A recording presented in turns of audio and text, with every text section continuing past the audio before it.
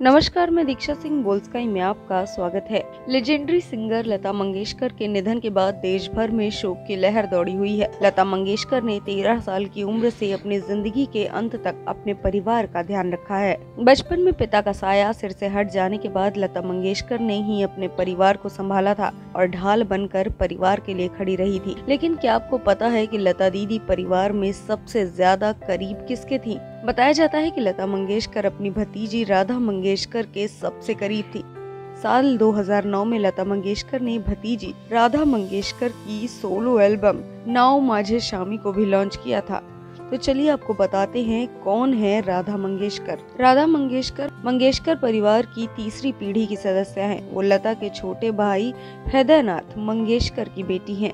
राधा मंगेशकर भी पेशे से सिंगर हैं। उनकी उम्र 40 साल है। उन्होंने भारत में संगीत संवेदनाओं को परिभाषित किया है। राधा मंगेशकर एक स्टेज परफॉर्मर हैं। उन्हें उनके पिता हृदयनाथ मंगेशकर ने संगीत की विद्या दी है। राधा मंगेशकर भी अपनी बुआ की तरह हमेशा सीखने और आगे बढ़ने के सफ़र पर चल रही हैं।